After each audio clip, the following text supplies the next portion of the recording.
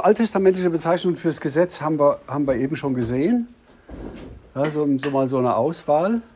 Gesetz vom Sinai, Gesetz des Mose. Dann diese 613 Mitzvot, angeblich 613. Gibt es neue testamentliche Bezeichnungen fürs Gesetz? Und was ist das für ein Gesetz? Ja? Gesetz des Geistes. Hat eben jemand gesagt, finde ich ganz, ganz wichtig. Ja? Römer 8, Vers 1. Denn das Gesetz des Geistes hat mich frei gemacht von dem. Wisst ihr das, wie es weitergeht? Von dem Gesetz der Sünde und des Todes. Was meint denn Paulus mit dem Gesetz der Sünde und des Todes? Welches Gesetz meint er denn da? Das vom Sinai. Aber das war mal wohl Ketzerei. Oder? Dieser Mensch redet wieder diese Städte und wieder das Gesetz. Stephanus und Paulus wieder das Gesetz. Weil der hat das Gesetz geschändet. Er hat gesagt, zu dem Gesetz, das wäre das Gesetz der Sünde und des Todes. Ein anderes gab es ja nicht. Ja, das gab es ja sonst keins. Also das Gesetz des Geistes hat mich frei gemacht von dem Gesetz der Sünde und des Todes. Ja? Vielleicht können wir das einfach mal kurz lesen, weil das ist so wichtig. So ist nun nichts Verdammliches an denen, die in Christo Jesu sind, die nicht nach dem Fleisch wandeln, sondern nach dem Geist. Denn das Gesetz des Geistes, der da lebendig macht in Christo Jesu, hat mich frei gemacht von dem Gesetz der Sünde und des Todes.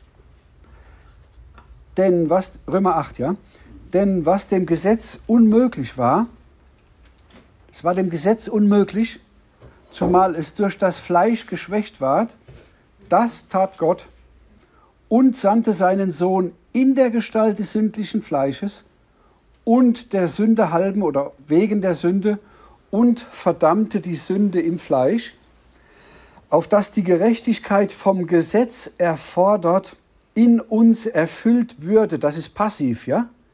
Die Gerechtigkeit wird in uns erfüllt, die wir nun nicht nach dem Fleisch wandeln, sondern nach dem Geist. Die Worte, die Paulus hier wählt, beschreiben eine ewigkeitliche Wahrheit, die wir mit menschlichen Worten kaum sauber ausdrücken können. Ja? Weil menschliche Worte dafür zu schwach sind und auch unser, unser Geist, also diese, diese Worte muss man eigentlich immer wieder neu auch, oder sollte man immer wieder neu auch lesen und in den Zusammenhang des, der ganzen Bibel verstehen, ja? Nicht aus dem Zusammenhang reißen und mit meinem, so habe ich am Anfang die Bibel gelesen und anders konnte ich sie auch nicht lesen, weil mir der Überblick halt gefehlt hat. Aber je mehr man sich in der Bibel bewegt, desto mehr muss man sagen, das sind, da beschreibt die Bibel eine ewigkeitliche Wahrheit, die mit unseren begrenzten irdischen Worten kaum in Worte zu fassen ist. Aber dieses Gesetz des Geistes ist ein anderes als das Gesetz vom Sinai. Denn das Gesetz vom Sinai hat die Sünde gezeigt und den Tod gewirkt.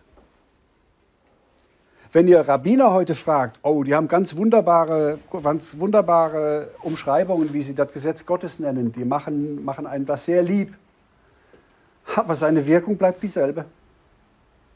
Ja? Der Gesetzesmensch und auch der jüdische Mensch, der dünkt sich aber da, darin, das Gesetz erfüllen zu können. Das ist das Absurde dabei, ja? dass das, was der, worin der Paulus sich überführt gesehen hat als Sünder, ein jüdischer Mensch oder ein christlicher Gesetzesmensch glaubt, gerade darin das Leben zu haben. Und zwar in demselben Wort. Beide lesen dasselbe Wort. Das ist ganz erstaunlich. Ja? Ähm, da gibt es doch diese Bibelstelle, wo Jesus sagt, ähm, ihr forschet in der Schrift und ihr meint das ewige Leben darin zu finden, aber sie ist von mir zeugt und zu mir wollt ihr nicht kommen. Ja? Ihr lest in der Schrift und meint, im Buchstaben hättet ihr das Leben. Aber in Wirklichkeit der innere Sinn des Gesetzes ist, euch die Schuld zu zeigen und von mir zu sprechen. Aber zu mir wollt ihr nicht kommen. boah, ja, aber das sind doch entschiedene Leute, die sind doch entschieden gläubig. Aber irgendwie scheint da irgendwas, irgend so ein Webfehler zu sein. Ja? Weil die, die studieren die Schrift, die forschen in der Schrift und die meinen, sie hätten darin schon das ewige Leben. Und eigentlich war der Sinn doch, dass er von Jesus spricht. Ja? Aber zu mir wollt ihr nicht kommen. Okay, das Gesetz des Geistes, das habe ich in Klammern gesetzt, ja, weil das eigentlich aus dem äh, Römer 8, Vers, Vers 1 und 2 dann da resultiert. Das Gesetz Christi, und das ist dasselbe, ja? Das Gesetz des Geistes und das Gesetz Christi ist dasselbe. Warum? Weil das, weil das Wort ist Geist und Gott ist Geist und Gott ist das Wort und das Wort ist Christus und Christus ist Gott und Gott ist, ist versteht er das eins? Einer hat gesagt, wer voll Geist ist, ist voll Wort. Das fand ich gut. Wer voll Geist ist, ist nicht voll Wulle Wulle. Ja? Ich sage das jetzt unter euch so. Ja? Nicht, ja, sondern wer voll Geist. Warum? Weil das Wort aus Geist ist. Deswegen hat man auch so oft so Schwierigkeiten, sich die Ruhe und die Zeit zu nehmen, die Bibel zu lesen. Weil der Teufel das nicht will. Weil da ist, das ist die Quelle des Geistes Gottes. Und das, da will er uns auf, auf alle Möglichkeiten will er uns davon von wegziehen. Ich weiß nicht, wie es euch geht. Sobald ich die Bibel anfange aufzulesen, klingelt mein, äh, aufschlage und anfange zu lesen, klingelt mein Telefon.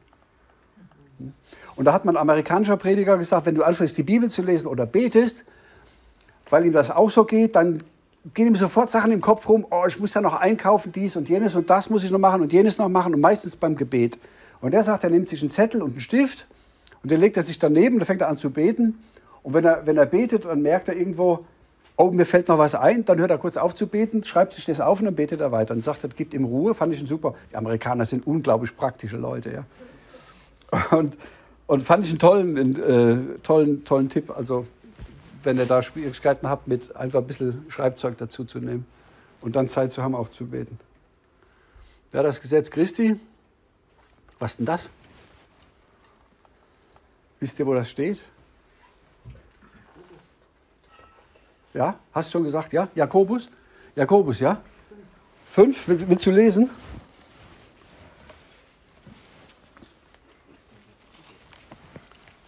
Eins. Jakobus eins. Zwei. Ich habe 1,25. Hast du noch, noch einen anderen?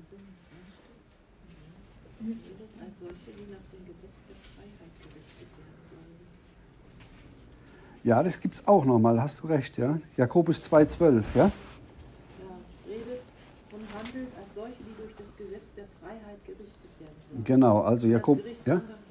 Ja? Das Gericht ist unbarmherzig gegen den, der keine Barmherzigkeit Barmherzigkeit rühmt sich wieder das Gesetz. Genau, ja.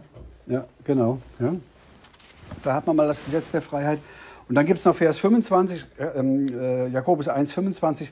Wer aber hindurchschaut in das vollkommene Gesetz der Freiheit und darin beharrt und ist nicht ein vergesslicher Hörer, sondern ein Täter, der wird selig sein in seiner Tat. Also da wird das Evangelium als Gesetz der Freiheit beschrieben. Ja? Fast mit ein bisschen Bezug hier auf das Gesetz vom Sinai. Ein ganz anderes Gesetz. Ja? Ein, nicht ein Joch, sondern ein Joch, das sanft und leicht ist. Ganz anders. Ja? Das war zum, zur Sünde und zum Tode. Und das ist eigentlich gar kein Gesetz. Ja? Das ist die Nachricht, das ist eine Botschaft vom Heil in Christus. Ja? Er hat uns frei gemacht, er hat das Gesetz erfüllt. Es hängt alles in ihm. Ohne ihn kein Heil. Ja? Er hat alles wahr gemacht. Das ist das Gesetz Christi. Ja, einer trage des anderen Last, so werdet ihr das Gesetz Christi erfüllen. Das ist schon alles. Ja gut, das für einen Pharisäer jetzt natürlich ein bisschen wenig. Der will ja ein bisschen mehr haben, weil der will ja auch zeigen, dass er was kann. Da braucht er mehr Paragraphen. Ja, ja aber so easy ist er da nicht. Das, super, das ist richtig. Ja? Und da müsste man uns eigentlich noch ein bisschen Zeit nehmen für Denn der Gesetzes, ich übertreibe jetzt ein bisschen, ja, so ein Gesetzesmensch oder, oder ein Israelit oder ein, ja, der, der, macht seine Gesetzesarbeit halt von, von 8 bis 16 Uhr und dann hat er Feierabend. ja? Der gibt auch den Zehnten. Aber ein Mensch, der die Gnade ergriffen hat, der, Der hat alles verloren an Christus. Und der gibt den Hundertsten, hätte ich jetzt fast gesagt, ich kann nicht so gut rechnen. 100 Prozent, ja, nicht nur 10. Das, das Gesetz hier zu halten, das ist dem Gesetzesmensch viel zu viel. So viel will er dann auch nicht. Also alles natürlich nicht. Das, was ihm gut abgeht, das macht er. Aber mehr macht er nicht. Ja? Das ist viel schwerer zu erfüllen. Wenn wir das Gesetz Christi halten, wenn wir das, das Gesetz des Geistes halten, wenn wir Jesus Christus nach, nachfolgen, dann werden wir in vielen Dingen viel Widerstand erleben. In der Familie, im Beruf, da wird man lachen über uns, da wird man uns schmähen, manchmal fliegen wir da und dort raus, da werden wir benachteiligt werden. Mir fällt das sehr schwer, ich mag sehr ungern nur Ungerechtigkeiten. Ja? Und ich glaube, wir kommen in eine Zeit rein, wo das mehr und mehr kommt. Wir haben bei uns in, äh, in Stuttgart einen Baurechtsanwalt, das ist eine sehr eloquente Persönlichkeit, der ist so zwei Meter hoch und hat schneeweiße Haare und so eine Juristenbrille auf und ist immer sehr elegant gekleidet. Und ich war abends eingeladen auf so eine Einweihung von einem äh, Neubauobjekt da in Stuttgart. Und dann gab es halt Fingerfood und ein bisschen Empfang und Shishi. Ja. Und dann kamen wir so ins Gespräch und dann äh, irgendwann kamen wir aufs BGB und dann habe ich gedacht, boah, da leite ich mal über auf die Bibel und dann irgendwann hat er laut gelacht. Was, du glaubst, die, dass die Bibel Gottes Wort ist? Ha, ha, ha, ha, hab ich schon noch nie gehört. Das heißt, ja, wird's aber Zeit. Darf er schon mal ein bisschen frech sein, ja. Aber das passiert natürlich, ja. Ich habe bei einer Bank gearbeitet im Großraumbüro und da kam ein Kollege von mir äh, zu mir, und ich war irgendwann am Arbeiten am Computer und dann äh, kam der zu mir und dann sagt er, ähm, hallo Achim, hast du das und das gestern im Fernsehen gesehen? Und ich war am Arbeiten und gucke nur so und sagt, du, wir haben keinen Fernseher. Und ich denke, oh scheiße, jetzt geht's los. Wa? Und ähm, das ist eigentlich ein, ein, relativ guter Freund von mir, aber gar kein Christ. Und er sagt, was ist denn das für urchristliches Verhalten? Sag ich, wieso? ja keinen Fernseher zu haben, weil seine Frau ist eine Russlanddeutsche und der weiß schon vom Glauben. Wolfgang heißt der, ja? Der weiß schon vom Glauben. Aber, also wir reden auch sehr offen. Der hatte Krebs nachher im Endstadium, der lebt noch, aber er hat gesagt, du, du bist fast in die Hölle gekommen, du musst die Bibel lesen, sonst gehst du in die Hölle. Volles Programm, kann der ab. Da ist ein grober Klotz, der braucht einen groben Keil. Oder war das umgekehrt, keine Ahnung. Ich sage, wenn du, wenn du dich nicht bekehrst, gehst du in die Hölle. Ja, Bibel. Sag ich, doch, Bibel. Ja, ich habe aus der französischen Revolution habe ich was gelesen. Ja, das tut mir auch gut. Sag ich, das mag sein, dass dir das gut tut, aber es rettet dich nicht. Du gehst verloren. War ich unter Männern, ja. Der hat mir das nicht übel genommen. Und dann war noch unser, ein anderer Kollege auch dabei. Wir waren zu dritt in Stuttgart im Café. Der schaltete sich dann auch noch ein und hatte irgendwas zu sagen. Sag ich, und du, Heiko, du musst dich auch bekehren, sonst gehst du auch in die Hölle. aber wir sind noch Freunde. Ja? Da, manchmal kann das sein. Manchmal, manchmal, muss man auch sehr vorsichtig mit dem Evangelium umgehen. Aber bei den zwei durfte ich das mal tun. Ja? So, und er sagt also mitten in der Bank zu mir, was ist denn das für ein urchristliches Verhalten? Du hast keinen Fernseher. Und alle Großraumbüro, ne? Bing, da, ja, Scanner. Ja, sag ich, bin halt Christ. Sag ich, hilft das, jetzt musst du mal erklären. Ne? Sag ich, ich bin Christ und ich finde das nicht gut für die Kinder, deswegen haben wir keinen Fernseher. Christ mit Bibel und so. Ja, sag ich, natürlich mit Bibel. Und da fing er an, über die Bibel zu frotzeln. Aha. Sag ich, du weißt du eigentlich, was in der Bibel steht? Äh, nicht so gut. Aha. Sag ich, weißt du, was im Römerbrief steht? Nee. Mhm. Sag ich, weißt du, was im Epheserbrief steht? Ah, jetzt nicht so aus dem Stegreif. Aha. Gut. Kennst du auch die fünf Hauptargumente von Paulus im Kolosserbrief? Ja, Kenne ich nicht. Sag ich, genau, gibt es auch gar nicht. Ja? Jetzt machen wir mal was für die Dummen unter uns. Alle, alle saßen da mit so Ohren. Oder? Ich will nur sagen, manchmal darf man auch ein bisschen Kess sein im Evangelium. Sag ich, jetzt machen wir mal was ganz Einfaches für dich, Wolfgang. Ja? Was haben denn Adam und Eva im Paradies gegessen? Was sag ich raus mit der Sprache? Du hast angefangen, nicht ich. Ein Apfel. Sag ich, genau, ein Apfel. Sag ich, du weißt überhaupt nichts von der Bibel. Du weißt nicht, was im Römerbrief steht, du weißt nicht, was im Epheserbrief steht, nicht im Kolosserbrief, du weißt nicht mal, was im Paradies gegessen wurde. Da steht nämlich nichts von einem Apfel. Und du spottest über die Bibel? Also sag ich, ich glaube, du bist vergestern. Sag ich, dann lass mich jetzt bitte in Ruhe, ich muss noch was fertig machen. Manchmal darf man das tun. Ja? Legt euch ein bisschen Munition bereit. Ihr müsst ja nicht direkt alles abfackeln. Zurückfragen ist super. Ja? Und wenn ihr gefragt wird, sagt er, kommt drauf an. ja und nein. Ja? Oder für dich schon, für mich nicht. Geht auch. Ja? Bitte? Natürlich. Meistens erkennt man da nur Christen, weil sie da den Mut zu haben, das zu sagen. Und man wird auch oftmals auch da auf Widerstand stoßen oder man Ja. ausgelacht werden. Also von daher, als Christ kann man Zeugnis geben, überall. Und Ja. man sollte es auch danach. Und kann man auch humorvoll. Ja. Manchmal muss man es sehr streng machen. Ja? Manchmal darf man, muss man sich auch vom, vom Herrn leiten lassen. Manchmal muss man sehr dezent und sehr vorsichtig sein und mit ein bisschen Einfühlungsvermögen. Ich hatte einen Freund, der ist in der katholischen Kirche halt vergewaltigt worden als Kind. Da muss man ein bisschen zurückhaltend sein. Ja? Ist ein Geschäftsmann irgendwo in Frankfurt. Gibt es viel häufiger, wie wir denken. Also nicht nur dort, sondern überall. Ja? Äh, Das Thema ist ein großes ich Thema. glaube auch, eben, wir rühmen uns oft der Worte Gottes. Ja, ja.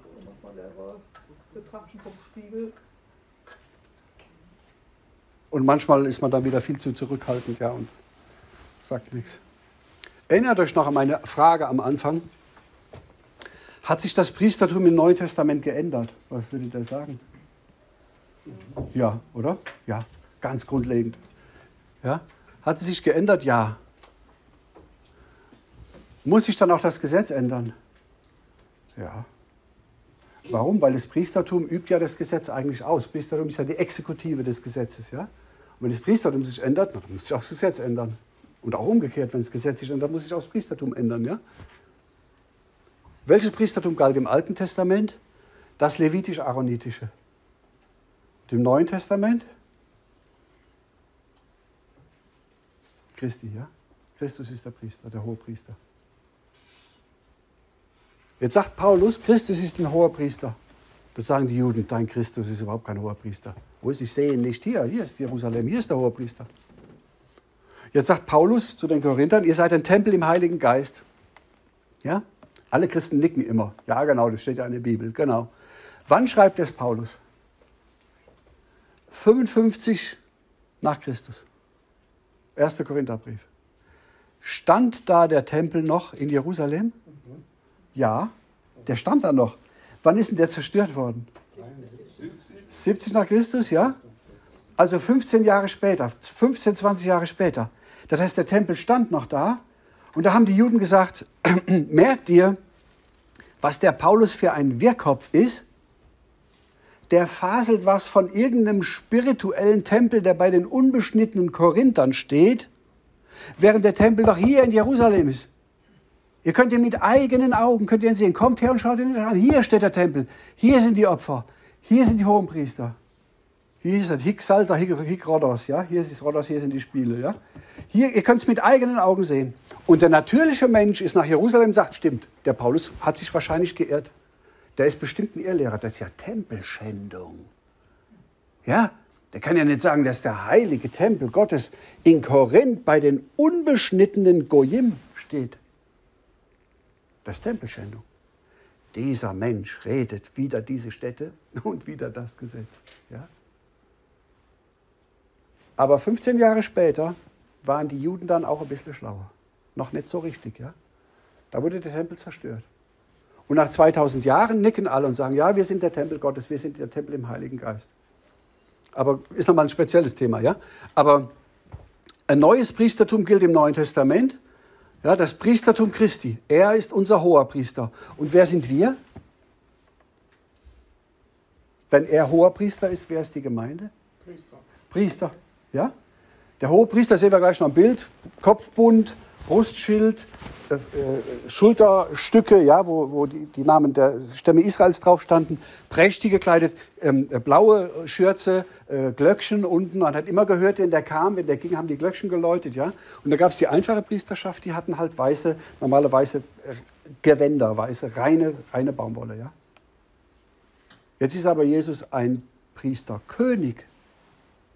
Wenn er hoher Priester und König ist und wir sind Priester, werden wir dann auch Könige? Ja, wir werden mit ihm herrschen. Wir sind auf Gedeih und Verderb, auf Gedeih, Verderb nicht mehr, aber auf Gedeih mit ihm verbunden. Ja? Er in uns und wir in ihm. Er nimmt uns in alle mit. Er zieht uns mit allem mit. Ja?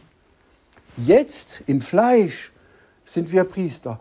Der einst, wenn wir bei ihm sind, werden wir mit ihm herrschen. Das ist, Das dürfte man nicht sagen, wenn es nicht in der Bibel stünde.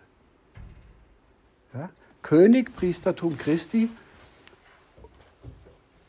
und unser Anteil daran. Ja? Ganz vorsichtig ausgedrückt.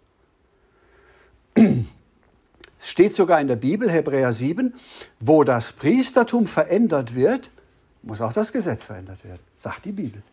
Ja, Hebräer 7,12 ist das große Kapitel im Hebräerbrief über den Melchisedek. Ja? Sollen wir da kurz aufschlagen? Hebräer 7.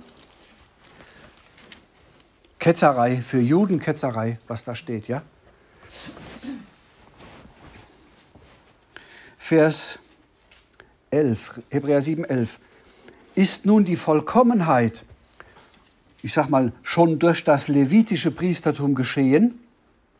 Denn unter demselben hat das Volk das Gesetz empfangen am Sinai.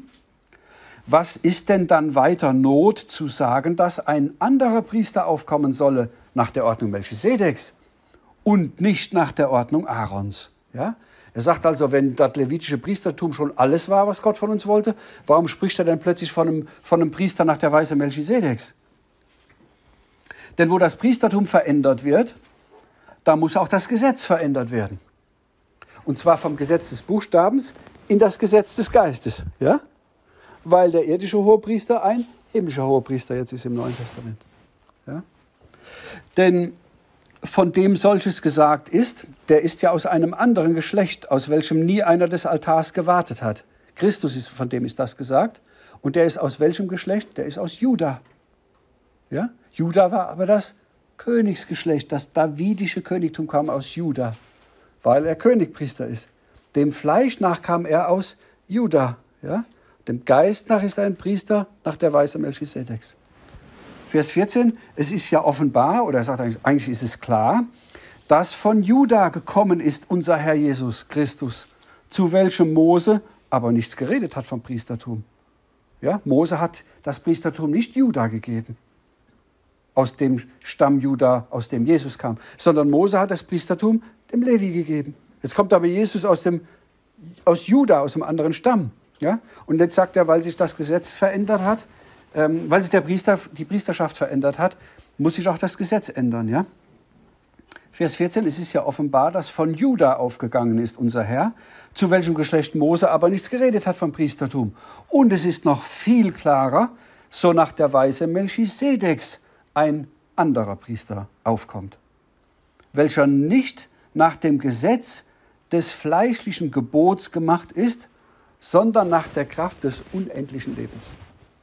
Denn er bezeugt, du bist ein Priester ewiglich nach der Ordnung Melchisedek. Damit, denn damit wird das vorige Gesetz aufgehoben, darum, dass es zu schwach und nichts nütze war. Das Gesetz vom Sinai wird damit aufgehoben. Das ist vorbei. Denn das Gesetz konnte nichts vollkommen machen, und es wird eingeführt eine bessere Hoffnung, durch welche wir zu Gott nahen, nämlich der Glaube. Ja? Das Priestertum wird verändert. Es geht über von Levi auf Juda und eigentlich geht es nicht von Levi auf Juda, es geht von Levi auf Melchisedek. Es geht von Levi vom Priestertum zur Königreichslinie, weil ein Königpriester kommen soll. Und dann sagt er, eigentlich ist das noch nicht komplett.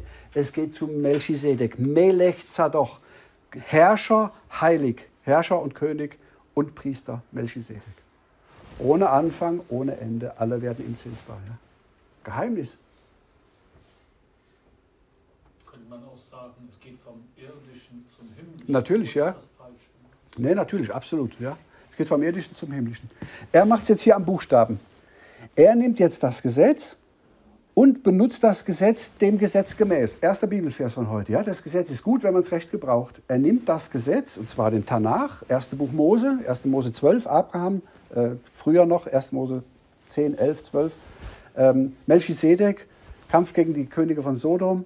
Plötzlich kommt irgendein Melchisedek, bringt Brot und Wein, nachdem der Abraham die Schlacht gewonnen hat, und hält Abendmahl mit dem. Und Abraham gibt den, den Zehnten von all seiner Kriegsbeute. Ja? Das heißt, Adam, äh, Abraham ähm, hat dem Melchisedek, wo keiner weiß, wo kommt, der, wo kommt der Kerl her, der war ein Priester des Höchsten. Ja, da gab es ja noch gar kein Gesetz vom Sinai. Ja, klar, das war ja 500 Jahre vor dem Sinai. Ja, wo kommt der her? Wieso hat der da Wein und Brot? Was tut der denn? Der hat ja kein Gesetz. Ja? Wieso war der Priester des Höchsten? Und jetzt sagt der Hebräerbrief, der Melchisedek, der war ohne Anfang, der hat kein Geschlechtsregister. Niemand weiß, woher der kam. Und der ist auch ohne Ende. Ja? Der ist äh, ein Königpriester, der kommt irgendwo her und alle werden zinsbar in ihm. Abraham und in Abraham auch Isaak und Jakob und die zwölf Stämme Israels, sind alle, ganz Israel ist zinsbar geworden, der Melchisedek. Wer ist der? Unser Herr Jesus Christus. Ja? Genial. Gott lässt es Jahrtausende aufschreiben, bevor Jesus kommt.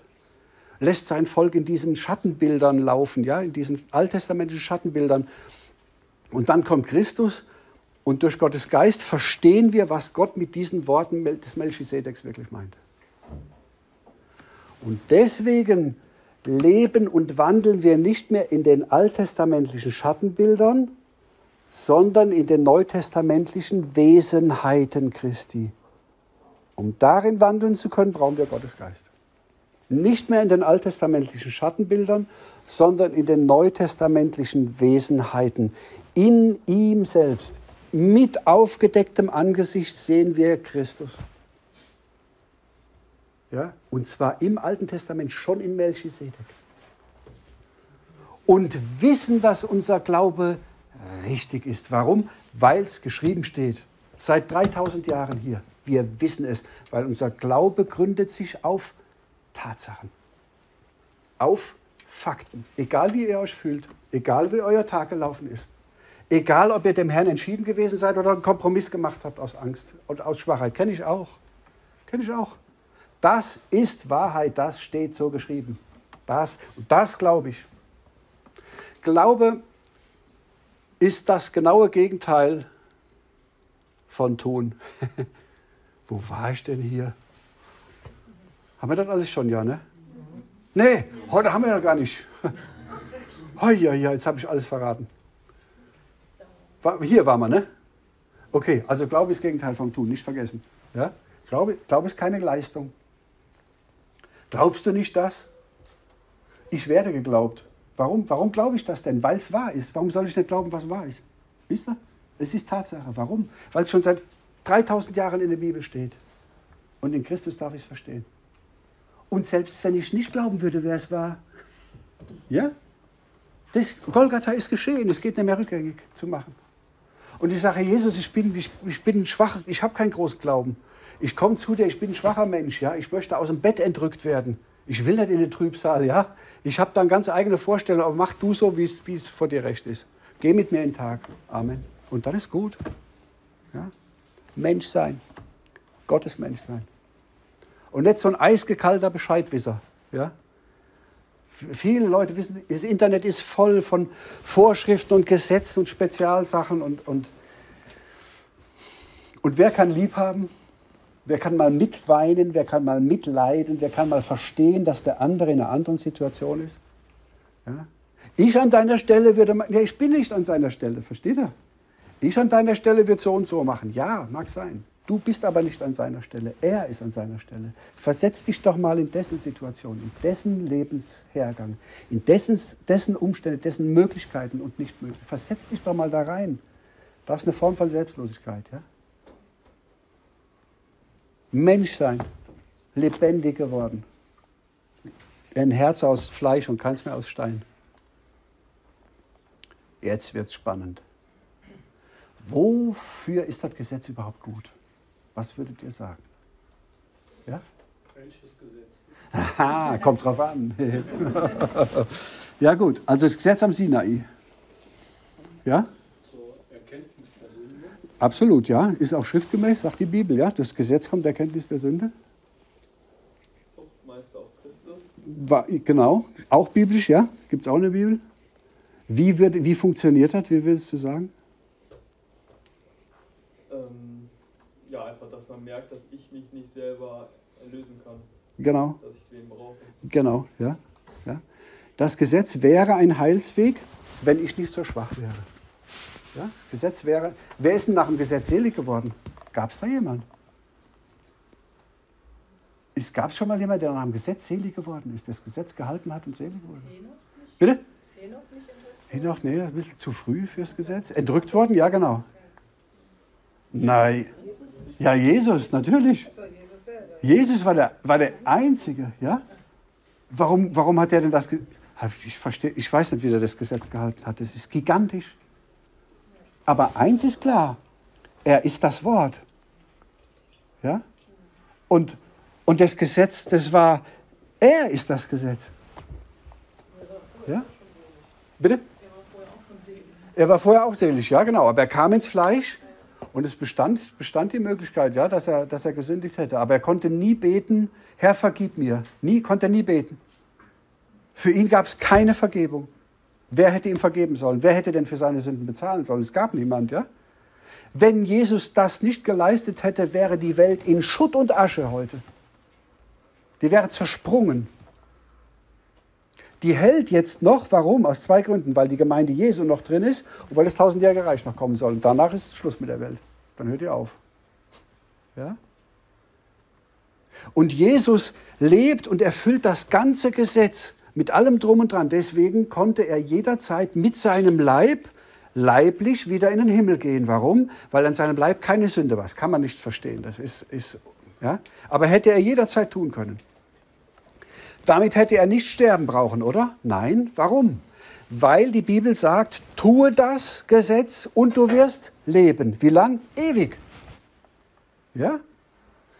Jesus hat das Gesetz vollends erfüllt und ist trotzdem gestorben. Die Sünde, der Tod ist der Sünde Sold, ja? Der Tod ist der Preis, den wir bezahlen für die Sünde. Jesus hat einen Preis bezahlt, den er selber nicht verursacht hat. Er hätte nicht sterben brauchen, ja? Er hätte jederzeit mit seinem Leib in den Himmel gehen können. Trotzdem stirbt er und geht in die Hölle und wird wieder lebendig und er steht wieder auf. Ja? Und da hat Jesus mehr geleistet, als für sein eigenes Heil notwendig war. Ja? Denn für sein eigenes Heil, sein eigenes ewiges Leben hat er ja das Gesetz gehalten. Aber er hat trotzdem zusätzlich noch den Tod erlitten. Und da ist der Platz. Da gehören wir rein. Da ist unser Platz. Da gehen wir rein. So funktioniert die, die Erlösung. Ja? Jesus hat mehr getan, als für ihn notwendig war, dass, dass er, dass er ähm, hätte wieder in den Himmel zurück zum Vater gehen können. Was hat er mehr getan? Er ist gestorben für unsere Sünden.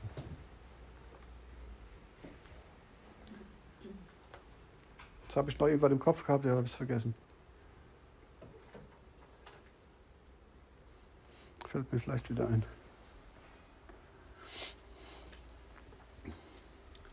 Das Gesetz ist dazu da, um vor Gott gerecht zu werden. Ja? Wir können es nicht, aber ja?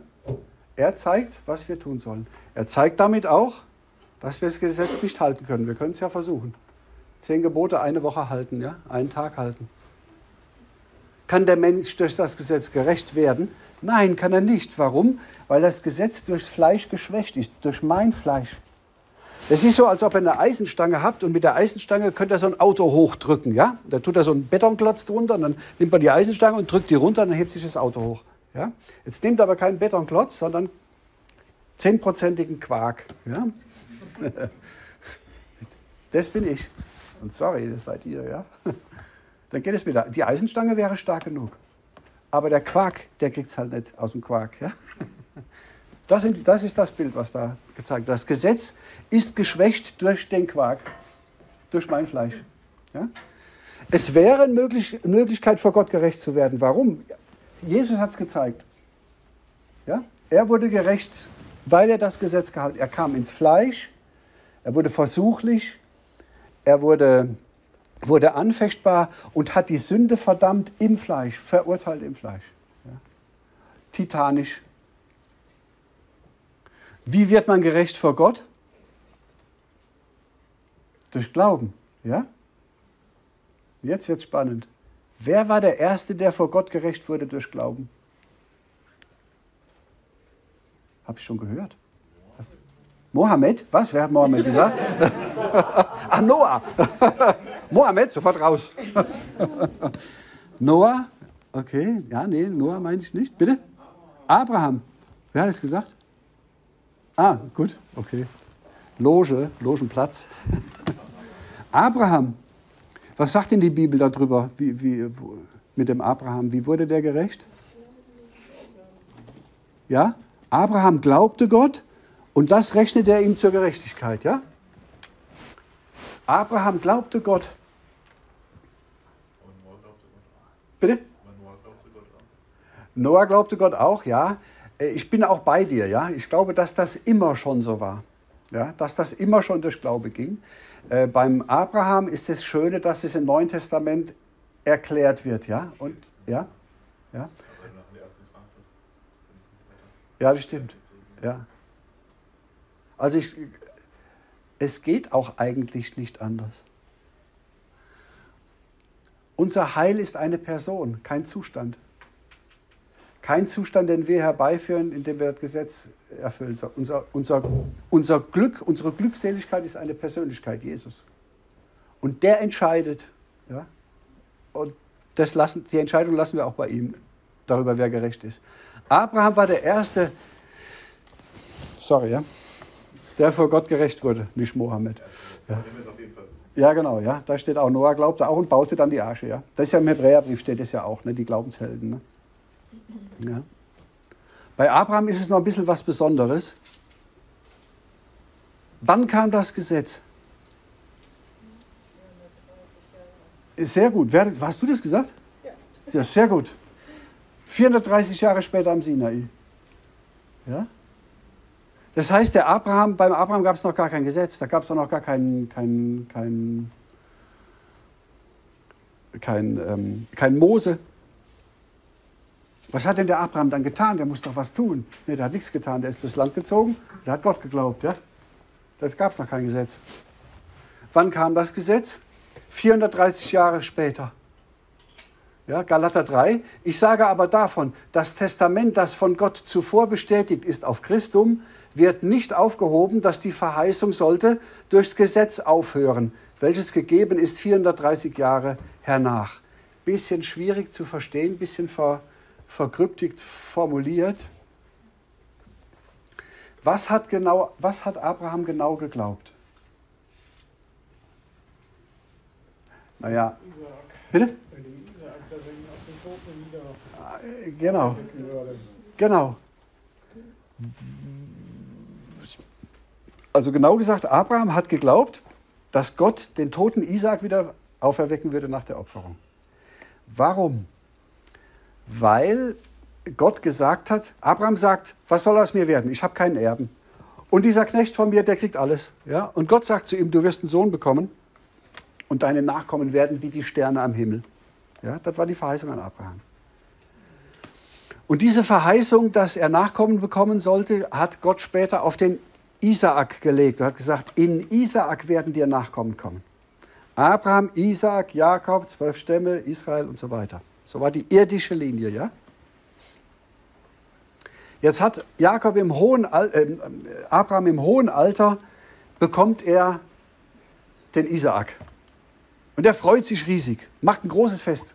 Der Ismael war schon 14 Jahre alt, jetzt kommt der Isaak, wird ihm geboren. Und er wächst auf und Abraham freut sich, ich habe einen Nachkommen. Ja? Äh, mein, mein Haus bleibt bestehen, ich habe einen Nachkommen in, in dem, in dem äh, Ismael. Von der Sarah, im hohen Alter geboren. Hat niemand mehr geglaubt, dass Sarah noch ein Kind gebären wird. Ja? Und dann bekommt er den, den Isaak und der wächst heran und irgendwann sagt Gott zu ihm, opfer mir den. Und der Abraham sagt, opfern, wieso? Ja, opfer mir den. Bring mir den zum Opfer. Meinen eigenen Sohn, ja. Als ich das gelesen habe, habe ich meine Frau gefragt beim Frühstückstisch, Anja, was hältst du von der Geschichte? Was hättest du denn zu Gott gesagt, wenn er das zu dir gesagt hätte? Sagt sie, wieso? Ich sage, schlau, meine Frau fragt zurück. Wieso? Ja? Immer zurückfragen. Nicht sofort antworten, wenn euch jemand was fragt. Ja, auch im Geschäft nicht fragen. Sagen, wieso? Wo, was weißt du, wo kommst du her? Wer bist du überhaupt? ja? Also. Und, und sie sagt, wieso? Und ich sage, ja, also ich hätte gedacht, Herr Gott hat seine Meinung geändert. Ich wäre tief traurig gewesen, hätte gesagt, gut, dann hat Gott vielleicht seine Meinung geändert und er nimmt mir den Isaak wieder. Dann sagt die Anja zu mir, ja gut, ähm, wie hast du gesagt, Gott hat noch nie ein Menschenopfer gebracht, ja? Da habe ich gedacht, wow, das ist besser als ich, ja? Ich muss jetzt weghören. Ja? Weil sie hält Gott sein Wort vor. Ja?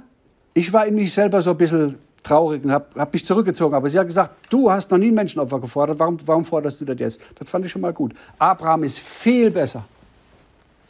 Abraham sagt, wenn Gott die Verheißung auf den Isaak legt und mir von dem Nachkommen kommen wie die Sterne und Gott jetzt will, dass ich den opfere, gibt es so eine Möglichkeit, Gott macht dir wieder lebendig.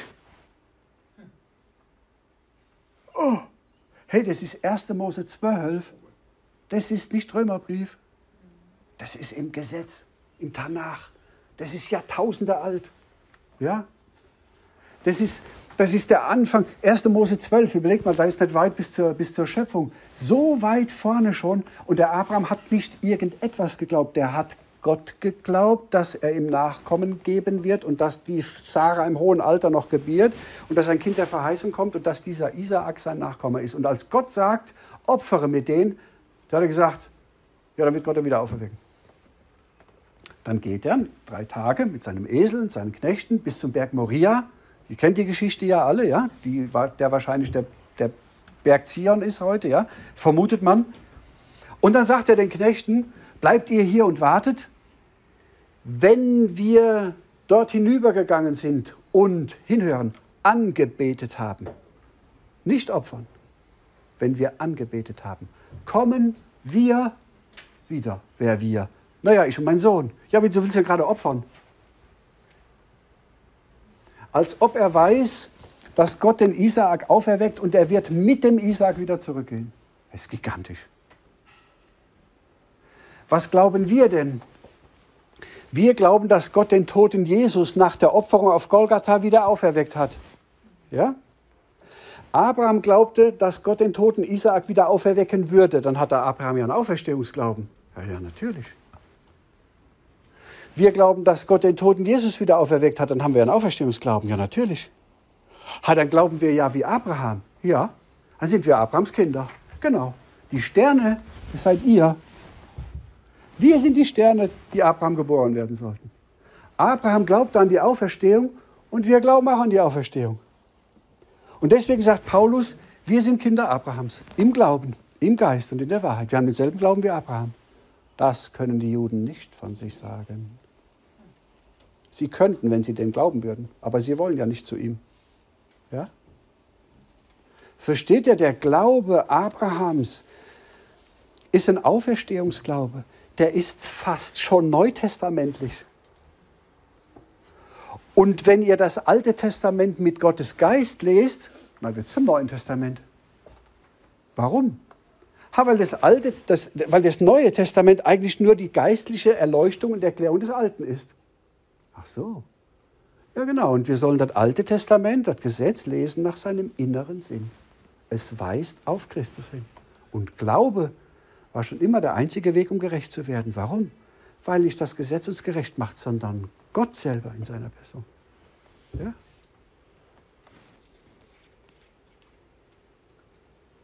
Haben die Jünger auch geglaubt, dass Jesus auferstanden ist? Anfangs nicht. Anfangs nicht. Und später? Schon. Aber es hat gedauert, oder? Hat der Thomas hat gesagt, das glaube ich nicht. Also hier, wenn ich die Hände nicht sehe, das glaube ich nicht. Ja?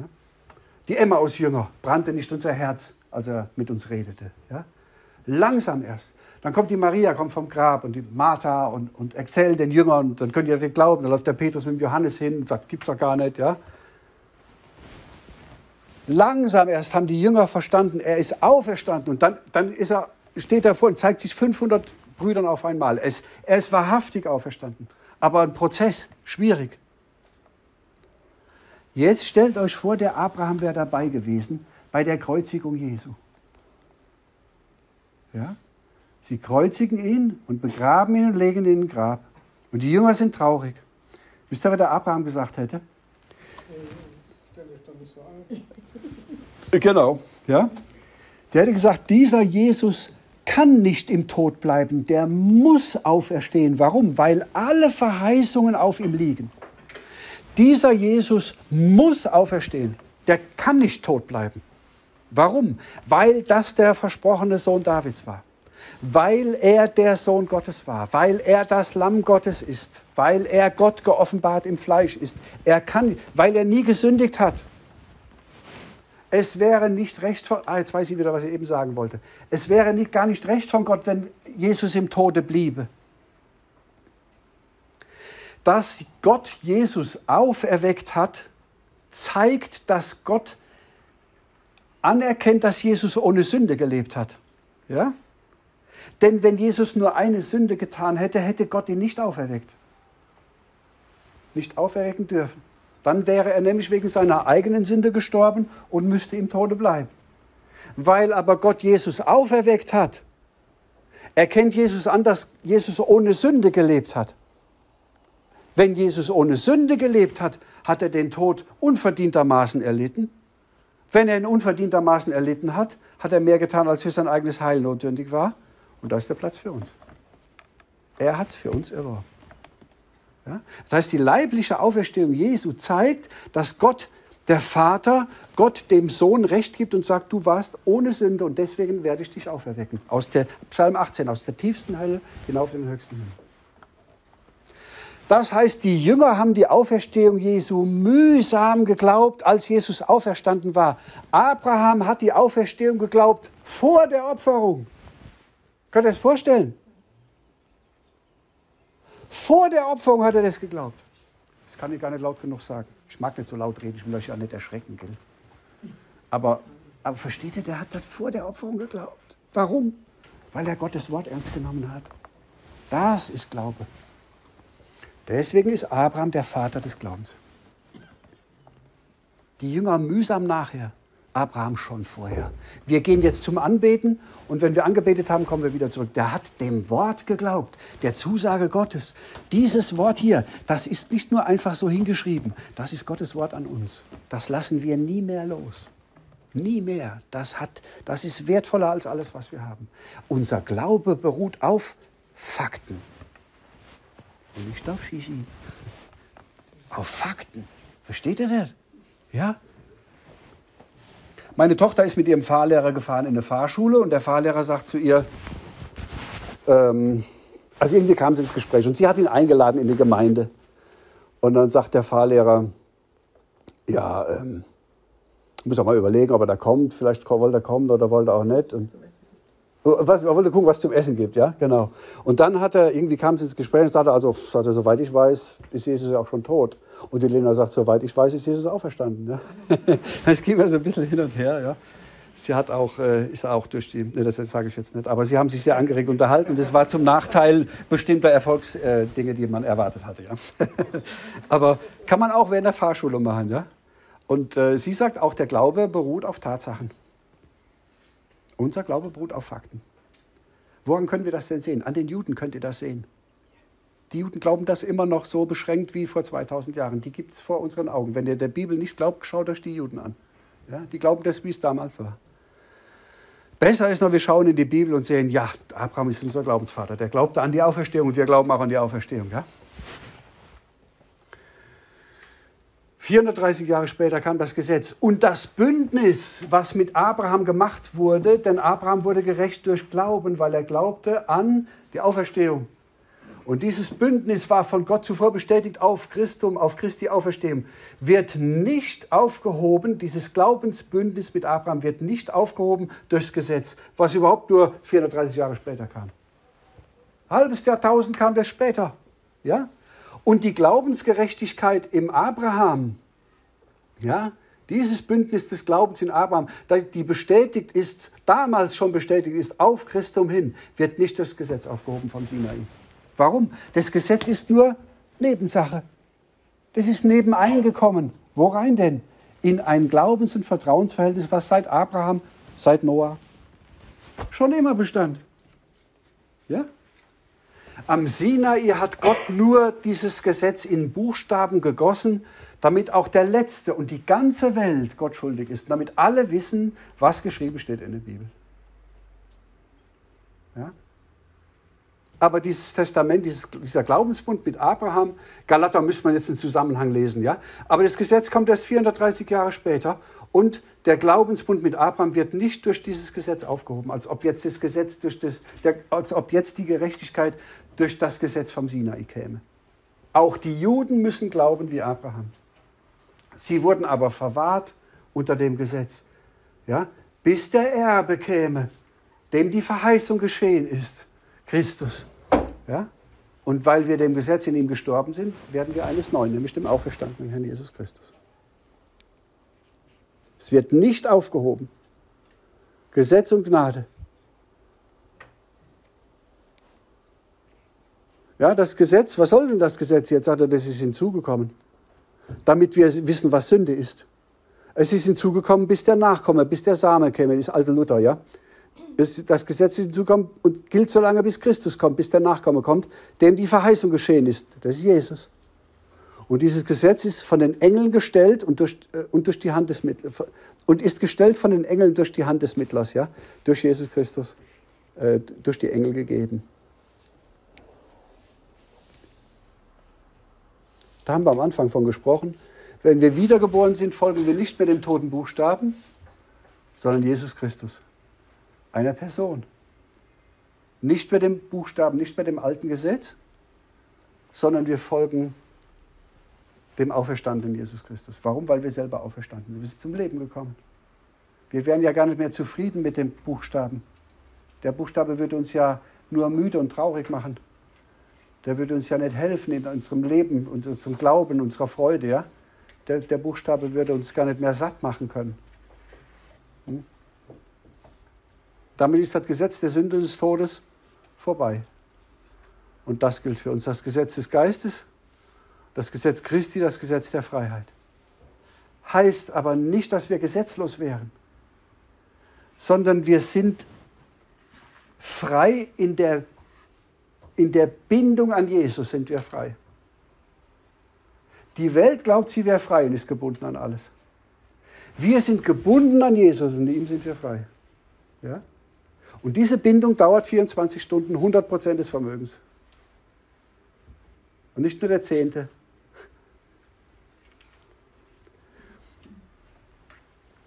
Wer den neuen Wein geschmeckt hat, wie heißt es, sagt, gib mir von dem alten, denn der ist milder.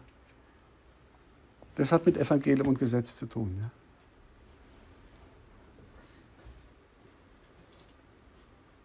Wer ist denn da da rechts? Das ist der hohe Priester, ja? Der alte hohe Priester aus dem alten Bund. Mit einem Brustschild, ja? Hat er da auf der Brust? Da? Was ist da drauf? Weiß es jemand? Edelsteine, zwölf, zwölf Stück, ja? Für, für die Stämme, zwölf Stämme Israels, genau. Effort heißt ja, genau. Kann man noch mehr über das Effort sagen? War noch was drin im Effort? Urim und Tumim. Urim und Tumim. Was heißt Urim und Tumim? Licht und Recht. Licht und Recht? Was war das? Er wurde mit gewürfelt oder Entscheidungen herbeigeführt. Äh, genau. Also nicht gewürfelt in dem Sinn, wie wir das kennen, sondern es wurde gefragt und dann gab es die Entscheidung. Äh, genau. Ja? Licht und Recht, ja? Also eigentlich Mehrzahl, Lichter und Gerechtigkeiten müsste man eigentlich sagen. Man weiß nicht genau, ob die Bedeutung stimmt, aber man vermutet das, ja? Zwölf Stämme Israels und zwei Zeugen. Zwölf und zwei. Machen wir jetzt nicht, ja? Zwölf tote Steine, edle Steine. Ich will das nur ein bisschen neugierig machen, ja? Zwölf edle Steine für die zwölf Stämme Israels, aber tote Steine. Zwei lebendige, man weiß nicht, ob das Steine waren, die reden konnten. Zwölf und zwei. Was Gemeinde Jesu ist, die man noch nicht sah, die noch verborgen war, ja? die war Licht und Recht. Recht für das Wort Gott, Lehre, ja? Licht für Gottes Geist. Ist aber ein Geheimnis auch. Aber ist heute nicht unser Thema, ja? Wie war das mit dem Priestertum? Abraham 2000 Jahre vor Christus, nicht ganz 1950 Jahre so, ich habe mal grob 2000 geschrieben, ja? Da war der Abraham. Gab es aber noch kein levitisches Priestertum. Gab es damals noch nicht. Es kam ja erst am Sinai, ja? Aber es gab den Melchisedek schon. Den hat er ja getroffen, der Abraham. Ja, den Priester des Höchsten gab es damals schon. Aber noch kein levitisches Priestertum. Wann kam das denn, das levitische Priestertum? Am Sinai. Bitte? 450 Jahre später. 450, 430 Jahre später, ja? ja? Am Sinai. Mose, rund 1500 vor Christus. Ja? Da kommt das levitische Priestertum. Da kommt es dann 1500 vor Christus. Ja? Und dann kommt David. Nochmal 500 Jahre später. Und der singt den Psalm 110. Und wovon handelt der Psalm 110? Von Melchisedek. Aha. Zur Zeit Davids gab es aber das levitische Priestertum schon. Ja? Trotzdem schreibt David einen Psalm, einen Psalm 110, den formuliert er. Und in diesem Psalm 110 redet er von Melchisedek. Sollen wir den kurz aufschlagen? Das heißt, der David redet von einem Priestertum, ja, wo doch eins da war. Das sagt der Hebräerbrief eben. Das gab es ja schon. Ja? Psalm 110. Ich lese es vorher, dann ist es mit auf Band. Psalm 110. Der Herr sprach zu meinem Herrn. Aha, da redet also Gott der Vater zu Gott dem Sohn im Alten Testament, ja? Das ist ja schon mal interessant. Jesus bezieht sich darauf später. Der Herr sprach zu meinem Herrn, setze dich zu meiner Rechten, bis ich deine Feinde zum Schemel deiner Füße lege. Der Herr wird das Zepter deines Reiches senden aus Zion, herrsche unter deinen Feinden. Nach deinem Sieg wird dir dein Volk willig opfern in heiligem Schmuck. Deine Kinder werden dir geboren wie der Tau aus der Morgenröte. Hier ist von einem Feldherrn die Rede, der ein Zepter trägt. Das ist eine Königslinie, ja? Der Herr hat geschworen und es wird ihn nicht gereuen. Du bist ein Priester nach der Weise Melchisedeks. Du bist ein Priester ewiglich nach der Weise Melchisedeks. Jetzt kommt der Priester. Gerade war es noch das Zepter und der König und jetzt kommt der Priester. Nach welcher Weise ist, ist, kommt hier ein Priester? Nach der Weise Melchisedeks, ein Königpriester, Christus. David redet davon, prophetisch, während das levitische Priestertum da ist und er lebte ungefähr 1050 bis 950 vor Christus. Das meint der Hebräerbrief und sagt, der Melchisedek hier im Alten Testament, ja, der wird uns berichtet in 1. Mose bei Abraham. Dann kommt 500 Jahre später das levitische Priestertum, genau 430 Jahre später. Ja? Und noch einmal 500 Jahre später kommt der David an und redet prophetisch von dem Melchisedek hier vorne. Ja? Das haben wir gerade gelesen. Und das hat der Hebräerbrief hier erklärt im ersten Jahrhundert. Es gibt ein neues, ewiges Priestertum in Christus. Und Christus ist der Melchisedek, von dem David erzählt hat, weil er scheinbar mit dem levitischen Priestertum nicht wirklich zufrieden war. Ja? Sonst hätte er es ja dabei belassen. Aber das levitische Priestertum gab es zur Zeit von David. Ja? Salomo hat ja dann später den Tempel gebaut, levitische Tempel, levitisches Priestertum. Aber David schaut schon vorweg, auf einen Priester, der wohl so ist wie der, der noch kommen soll, Christus. Ja? Also hat sich das Priestertum bewegt vom levitischen Priestertum zu, zu dem Priestertum Christi. Da gehören wir zu. Das müssen wir wissen. Ja? Das ist euer Eigentum, euer Erbe, eure Aufgabe. Ja? Wir sind Priester mit Christus und er ist ein Königpriester. Ist Jesus hoher Priester heute? Ja. Ist Jesus König heute? Ich glaube nein. Noch nicht, oder? Wann wird denn Jesus König sein? Im tausendjährigen Reich. Was ist denn dann sein Königsvolk? Israel. Ja? Ja? Israel, sein Königsvolk. Und was ist heute sein Volk? Die Gemeinde ist heute sein Volk. Und jetzt wird es gefährlich. Ist Israel heute sein Volk? Ist Israel das Volk Gottes? Jetzt wird es gefährlich, gell? Kommt drauf an. Wieso willst du das wissen? Ja? Ja? Okay. Ist Jesus Gott? Natürlich. Ja. Ist Israel das Volk Jesu Christi? Nein. Israel war Gottes Volk? Absolut im Alten Testament. Und wird es wieder werden. Ja. Okay. Na, ist nicht schlimm. Wir dürfen ja unterschiedlicher Meinung sein, ja? Ja? Steht ja auch im Römerbrief, es ist momentan zur Seite. Es wird immer. Gottes Wort sein, Achim. Bis zu, doch, doch. Sehr schön. Er wird sie doch sammeln aus allen Völkern. Bis dahin, bis die voll ist. Ja. Und wie denkst du, wer den Sohn nicht hat, hat den Vater nicht? Richtig, aber er wird sie sammeln. Da ist er bei. Da müsste man noch mal, müsste man noch in Ruhe sprechen drüber. Können wir uns mal, ich, meine Mama und ich, wir haben da auch ein großes äh, Defizit, will ich mal sagen, eine große Differenz. Ja? Ja? Die sagt, Israel ist Gottes Volk. Ich habe das auch immer so gekannt. Ich würde da doch nicht jetzt direkt so Nein sagen wollen. Ja? Ähm, aber im Moment gibt es ein Volk, das aus einem, einem Nicht-Volk kommt, Loami. Ich werde zu diesem Volk sagen, ja, wir sind ein, ein Volk Gottes, aus, das, das keine Nation ist, sondern aus allen Nationen kommt. Ja? Ein Volk, das nicht von dieser Welt ist, für einen Tempel, der nicht von dieser Welt ist, für einen hohen Priester, der nicht von dieser Welt ist, ja? für ein Reich, das nicht von dieser Welt ist. Aber dieser Jesus kommt wieder auf den Ölberg, nämlich so dort, wo er aufgefahren ist, sagen die Engel, so kommt er wieder auf den Ölberg und richtet dann sein Reich auf. Dann wird er auch König sein.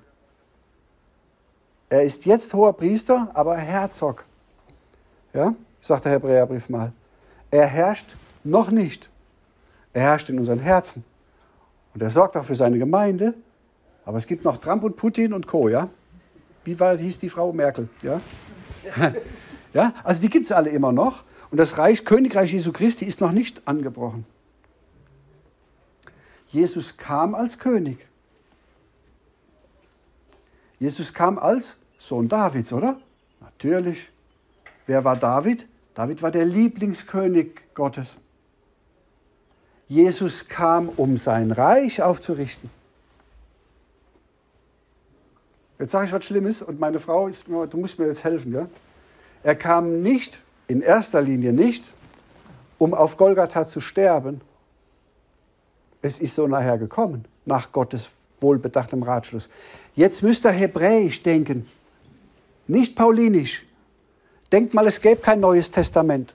Ihr müsst jetzt euch in jemand anders reinversetzen. Denkt mal alttestamentlich, hebräisch alttestamentlich. Freue dich, Tochter Zion, dein Priester kommt zu dir. Nein. Dein König. Jesus ist auf einem Esel nach Jerusalem reingeritten, nicht um gekreuzigt zu werden, sondern um dort als König anerkannt zu werden. Das ist eine alttestamentliche Königreichslinie des Königreichs, des Königtums David, des davidischen Königtums. Hätten die Juden Jesus damals anerkannt, da gäbe es keinen Trump. Was wäre denn dann passiert? Dann wäre das tausendjährige Reich angefangen. Ja, sagen alle, da gibt es ja kein Golgatha. Nee, gibt es kein Golgatha. Jetzt müsst ihr hebräisch denken, nicht christlich, nicht neutestamentlich denken, alttestamentlich denken. Das ist eine alttestamentliche Linie. Freue dich, Tochter Zion, dein König kommt zu dir. Sanftmütig und reitend auf einer, auf einer Esel. Jerusalem hat diesen König aber nicht anerkannt. Sie haben ihn verworfen. Sie haben gesagt, wir wollen nicht, dass dieser über uns herrsche. Wir haben keinen König außer dem Kaiser in Rom. Sein Blut komme über uns und über unsere Kinder. Das haben sie gesagt. Und ab dem Zeitpunkt hat Jesus seinen Dienst geändert. Matthäus 12. Von dem Zeitpunkt an begann Jesus und sprach, kommet her zu mir alle. Nicht nur Israel, nicht nur Juden, alle, die ihr mühselig und beladen seid, ich will euch erquicken. Ja? Nehmet auf euch mein Joch, denn mein Joch ist sanft und leicht. Ja? Von dem Zeitpunkt, das, was wir lesen in der Bibel, ist dynamisch. Das ist kein statisches Poesiealbum. Ja? Ja?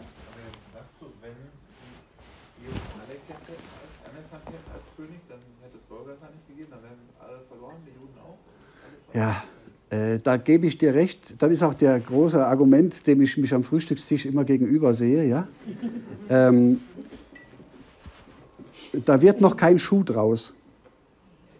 Petrus sagt den Juden, ihr habt den Gesalbten Gottes umgebracht nach wohlbedachtem Ratschluss Gottes. Ja, das war gewollt von Gott, dass Jesus auf Golgatha stirbt. Und man kann die Königreichslinie nicht denken ohne die Opferlinie und ohne die Priesterlinie. Das ist richtig. Ja. Ich will nur, dass ihr das ein bisschen versteht. Das ist ein dynamischer Prozess in den Evangelien, ja? Die Bergpredigt ist, die Bergpredigt ist die Verfassung des Königreiches Jesu. Gleichzeitig die Verschärfung des levitischen Gesetzes.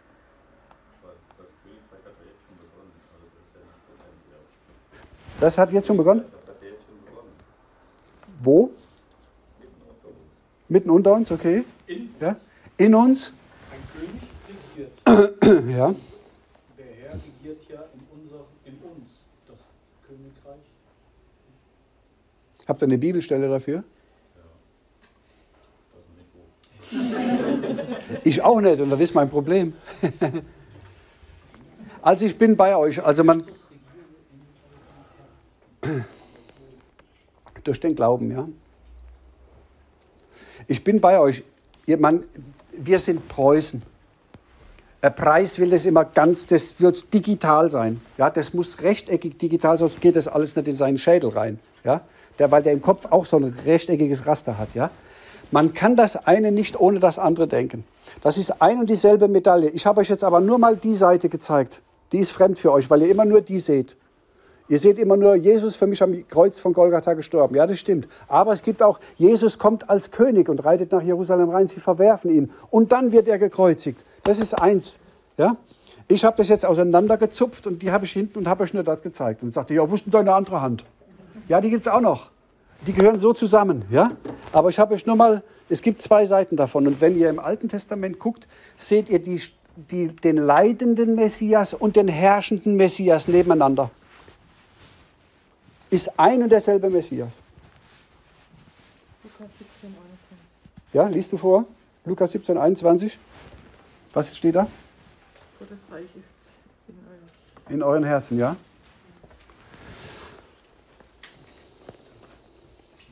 Jesus sagt auch, das Reich Gottes ist schon da und jeder dringt mit, mit Gewalt hinein.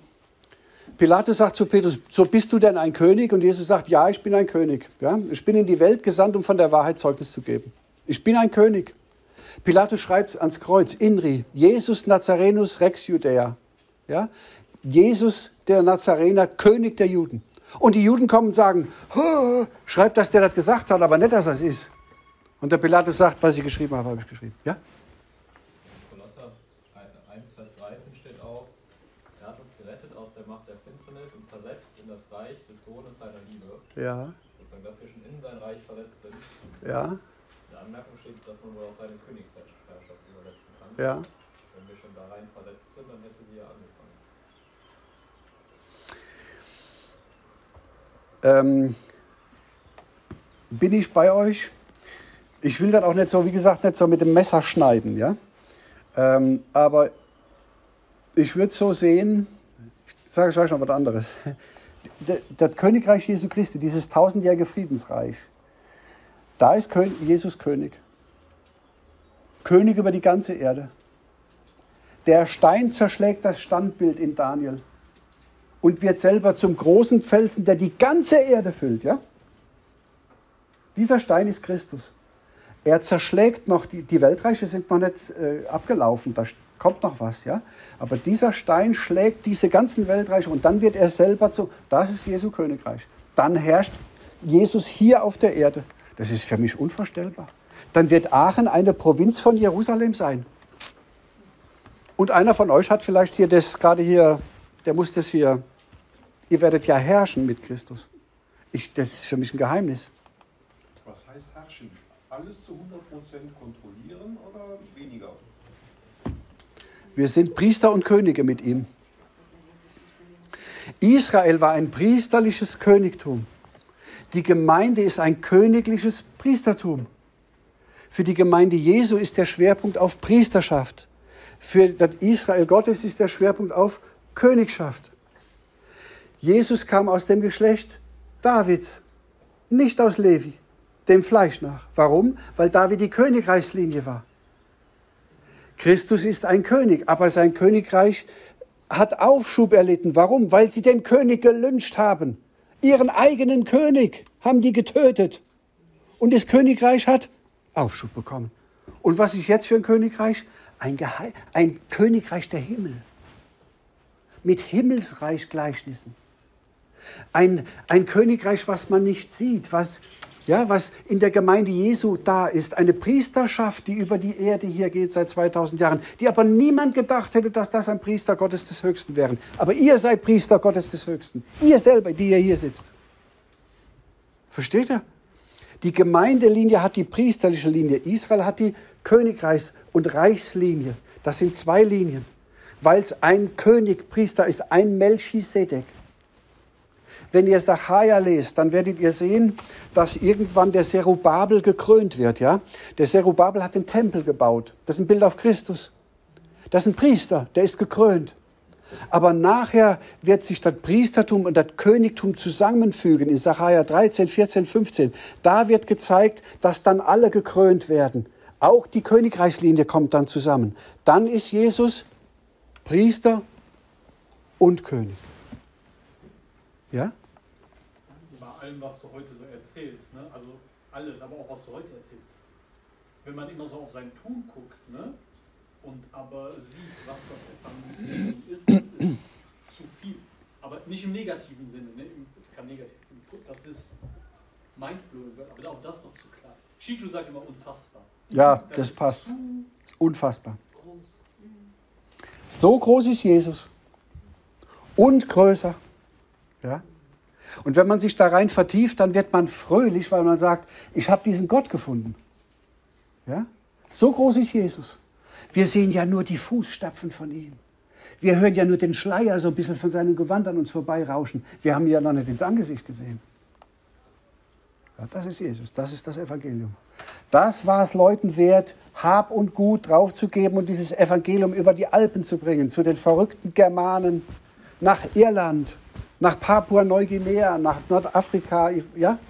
Weil die, die haben was geschmeckt von der Gnade Jesu, von der Größe. Das ist groß, wovon wir reden. Das ist etwas Großes.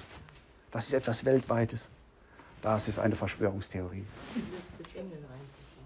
Das ist eine Verschwörung gegen die gegenwärtige Weltherrschaft. Gegen das babylonische, medopersische, griechische Reich, gegen Amerika, gegen Russland, weil wir sagen, Putin ist nicht Herrscher der Welt, Trump ist nicht Herrscher der Welt, Jesus ist Herrscher der Welt. Das ist Verschwörung. Das ist Majestätsbeleidigung. In der Demokratie geht das. In einem liberalistischen westlichen Land geht das alles. Sagt es mal in China. Denkst ja, ob Hing da, du bist nicht hier der, sondern Jesus. Wisst ihr, was da passiert? Ja? Das ist eine Verschwörung, wovon wir reden. Jesus ist König der Welt. Alle Weltreiche werden irgendwann aufhören. Das mögen die Politiker nicht. Wir sind demokratistisch heute. Wir haben eine, die, ja, das Evangelium hat sich auch ein bisschen, das wird auch mal so, mal so gepredigt. Je nachdem, wie die Zeiten waren. Bei Napoleon hat man das nicht sagen können. Bei den römischen Kaisern auch nicht. Die Juden haben gesagt, wir haben keinen König außer dem Kaiser. Diese Männer haben gesagt, ja, dass sie einen anderen König haben, nämlich Jesus. Das sind Verschwörer, das sind Politkritiker, ja, die müssen hier weg. Das haben die Juden gesagt über die Apostel. Denkt mal dran, die haben denen politische Vorwürfe gemacht, nicht, nicht religiöse. Ja, sie sagen, sie haben einen anderen König. Und es ist gegen den Kaiser. Und wenn du, Pilatus, ja, den nicht verurteilst, hier bist du des Kaisers Freund nicht. Und die, Pilatus wusste, dass der König vor ihm steht. Und den tötet er. Und Pilatus ist im Wahnsinn gestorben irgendwo in Rom. Das ist wahnsinnig geworden darüber. Ja, ich weiß, mit dem Königreich, ich verstehe das, dass das schwer, also ich denke, dass da die beiden Linien sind, ja, und dass man das sehen kann. Äh, häufig wird gesungen von dem König Jesus, das prägt uns, Lieder prägen uns sehr, ja. Aber der vom König Jesus steht im Neuen Testament an nur zwei Stellen im Timotheusbrief, im ersten und im zweiten. Damit gebe ich euch zu, es ist nicht so, als ob da gar nichts stünde vom König Jesus. Ja? Da steht etwas vom König Jesus. Ja? Man kann es nie so ganz mit dem Messer schneiden, aber die grobe Linie ist eine andere. Paulus sagt zu Timotheus, Timotheus, da ist so viel Stress in der Gemeinde, so viel Ärger dort, so viel Ärger mit der politischen Welt, so viel Ärger mit den Juden, die ganz Ephesus gegen dich auf. Du wirst von, von Pontius nach Pilatus gezerrt in Ephesus. Ja? Vergiss nicht, König der Welt ist nicht der Kaiser in Rom, sondern Jesus. Das ist der Zusammenhang. Das ist ein Trost für den. Ja? Trotzdem glaube ich, dass die, die offensichtliche Königsherrschaft Jesu, wenn Jesu friedensreich ist, noch kommen wird im tausendjährigen Reich. Aber ich verstehe, dass das für euch äh, auch schwierig ist zu, nachzuvollziehen, weil wenn man da zum ersten Mal einfach hört, ja, dass man diese zwei Linien eigentlich hat. Ähm, wie gesagt, im Alten Testament gibt es das auch. Frage, glauben die Juden an den Messias, dass der Messias kommt? Glauben wir auch, dass der Messias kommt? Ja. Ja, Kommt drauf an. Wisst ihr, dass die. Super. An wie viel Messias kommen, glauben denn die Juden? Wisst ihr, dass die Juden an. Bitte? an eins, An zwei. an zwei. Die Juden glauben, dass zwei Messias kommen. Ja, ist unglaublich, oder? Der erste Messias, an den die glauben, ist der Messias Ben Joseph. Messias, der Sohn des Josef. Der zweite Messias, an, Messias, an den die glauben, ist der Messias Ben David. Das klingt für uns komisch. Warum? Weil wir glauben, dass ja schon ein Messias da war. Die Juden sagen, der ein Messias, der Messias Ben Joseph, der wird sterben und dann wird ganz Israel ganz traurig sein und dann kommt der Messias Ben David und der kämpft für Israel und der richtet dann das messianische König. Das ist die Endzeiterwartung der, Messi der, der Juden. Das ist auch ganz logisch. Warum? Weil die ja glauben, dass ein Messias noch, wir glauben, dass der erste Messias, der, der Ben Joseph, der ist ja schon da gewesen in Christus. Und wir glauben, dass derselbe, der schon mal da war, ein zweites Mal kommt. Aber die haben das Alte Testament, und das ist, was euch fehlt, die haben im Kopf diese zwei Linien, den herrschenden und den leidenden Messias. Ja?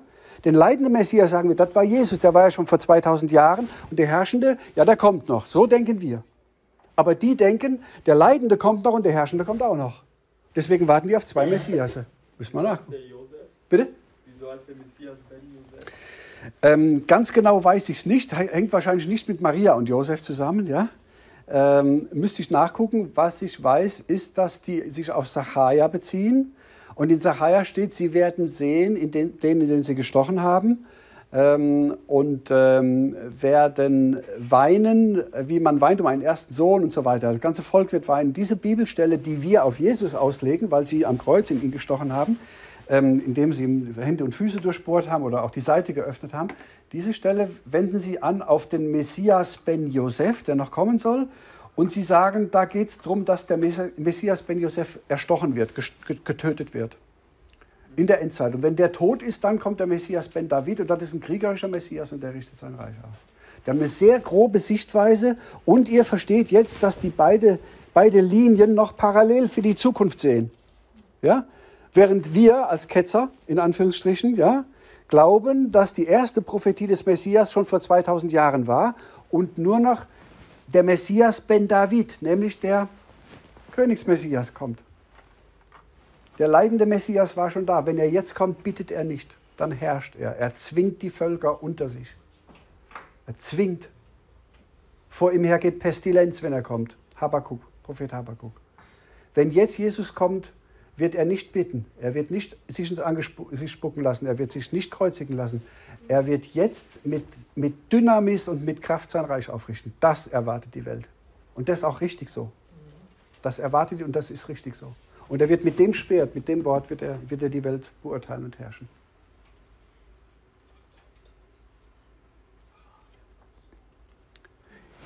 Ist aber vielleicht auch ein neuer Gedanke, aber ist, äh, ist vielleicht mal wert, so ein bisschen nachzudenken. Jetzt wollte ich euch noch kurz was zeigen. Das haben wir gestern im ha Oh, jetzt habe ich das wieder falsch gedrückt hier. Ah, das ist die Welt. Ja? Haus, Baum, Strauch, Sonne, Grün. Ja? Oben drüber ist der Himmel.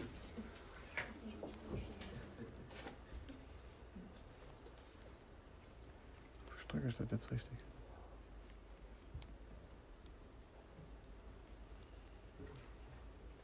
Himmel. Ja, ich weiß nicht. Wo Achim Klein? Ah, ja, genau, der ist schon da, ne? Ist natürlich klar. Man muss auch gewisse Vorteile haben. Wer da oben hingeschrieben werden, kann gleich zu mir kommen. 100 Euro. nee, also Himmel, ja, das müsst ihr vergessen. Ähm, da ist der Mensch da unten, der wohnt, der lebt in der Schöpfung, der ist geschaffen, Adam, ja, und seine Nachkommen, gefallen in der Schöpfung. Der wohnt hier in der, in der Erde. Und auf der Erde hat Gott sein Gesetz gegeben. Ja? Das Gesetz Sinai gilt für und gegen den Menschen. Auf der Welt, hier horizontal, nicht vertikal. Ja? Das Gesetz gilt nicht im Himmel. Es ist am Sinai gegeben als irdische, ähm, äh, irdischer Ausdruck des heiligen Willen, Willens Gottes für sein irdisches Volk Israel. Und dann auch für die ganze Welt. Dann kommt Jesus Christus irgendwann in diese Welt. Lebt, stirbt, wird begraben, Er steht von den Toten auf, fährt auf in den Himmel. Jetzt ist er im Himmel. Zu Pfingsten gibt Jesus seinen Geist in die Welt.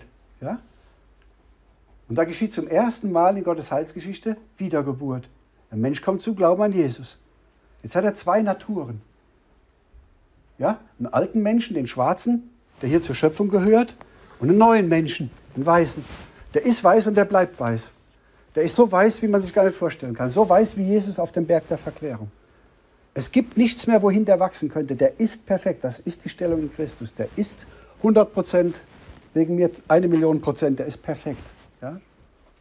Und dieser Mensch, dieser, dieser neue Mensch, der gehört zu Jesus Christus im Himmel. Ja? Da also, das ist der Himmelsmensch, dessen Bürgerrecht ist im Himmel. Und unsere Natur, unser Wesen ist das. Laut biblischer Lehre. Wir empfinden uns nicht so. Ich sage das ganz deutlich. Wir, wir, sehen, wir erleben uns nicht so. Wir erleben nur den hier unten. Das ist Gottes Botschaft in seinem Wort.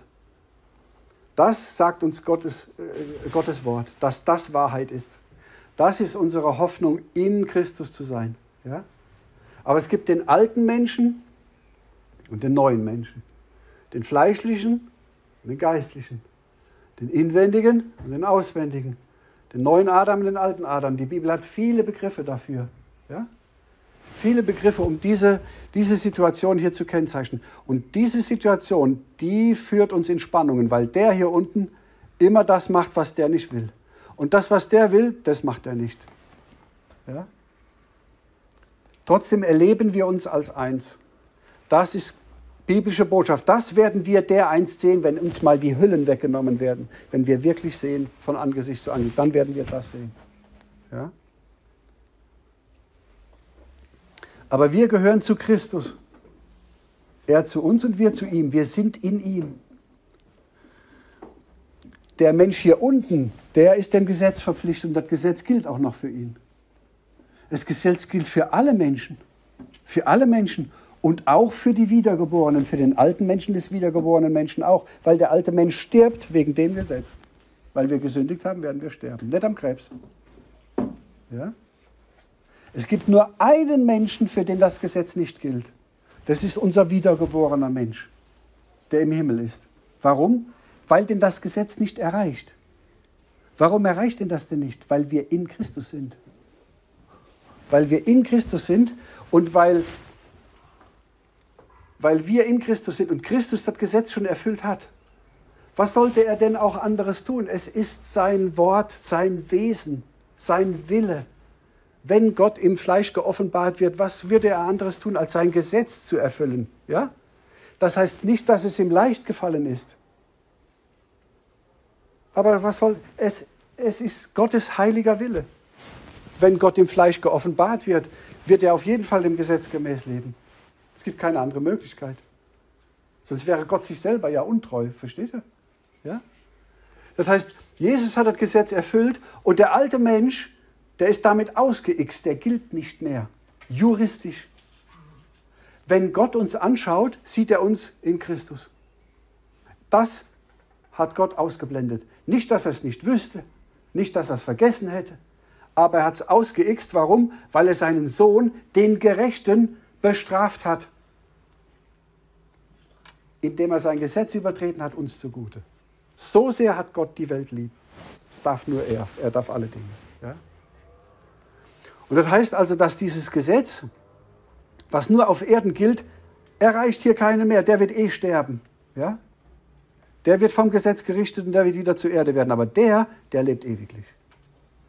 Aber den, den erleben wir so wie Paulus im Römer 7 dass wir sagen, das Gesetz ist gut, ja, aber sein Urteilsspruch erreicht mich nicht mehr. Das gibt es nicht mehr, ja, weil das Gesetz nur auf Erden gilt und nicht mehr im Himmel. Warum? Weil es im Himmel nichts zu tun hätte.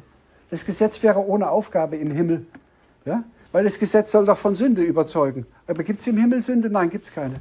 Wen gibt es denn im Himmel? Gott, den Vater, Gott den Sohn, Gott den Geist und seine Gemeinde, die Wiedergeborenen, die alle nach Gottes Wesen. Im, Im Himmel gäbe es keine Aufgabe fürs Gesetz. Wo gibt es eine Aufgabe fürs Gesetz? Auf der Erde. Warum? Dem gefallenen Adam, der aus dem Paradies vertrieben ist, nochmal hinterher zu rufen, was alles Sünde ist, damit er es wirklich weiß. Und damit die Sünde übermächtig wird, weil er sie vorsätzlich tut. Er weiß, dass es Sünde ist. Ich weiß, dass es Sünde ist. Und ich falle trotzdem rein und sehe, wie verloren ich bin. Noch mehr verloren, als mir meine Augen zeigen, meine blinden Augen mir zeigen. Noch mehr, wer zeigt das? Gottes Wort. Warum? Weil Gottes Wort ein Licht auf meinem Weg ist. Es leuchtet in uns. Es ist ein scharfes Schwert, das schneidet und trennt Fleisch und Bein, Geist und alles auseinander und schneidet dich mitten hindurch. Deswegen ist dieses Wort da. Und gleichzeitig ist es Heil, Labsal, Trost, weil es Botschaft gibt von Christus, der gestorben ist und auferstanden ist. Und dass ich in einem neuen Menschen mit ihm sein darf. Und es geht nur durch den neuen Menschen, weil der alte ist zu gar nichts mehr nütze gewesen. Ja? Wenn man so sieht, ist es eigentlich ganz logisch. Noch Fragen? 18 Uhr.